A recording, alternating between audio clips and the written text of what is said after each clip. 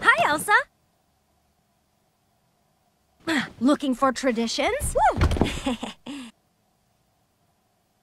old Viking helmet, and this was my sorcerer's cloak. Dragon feet! Nom nom nom. I found them in my old trunk. What's in yours?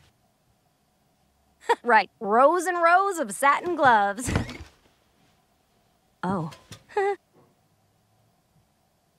Wait, who's this little guy?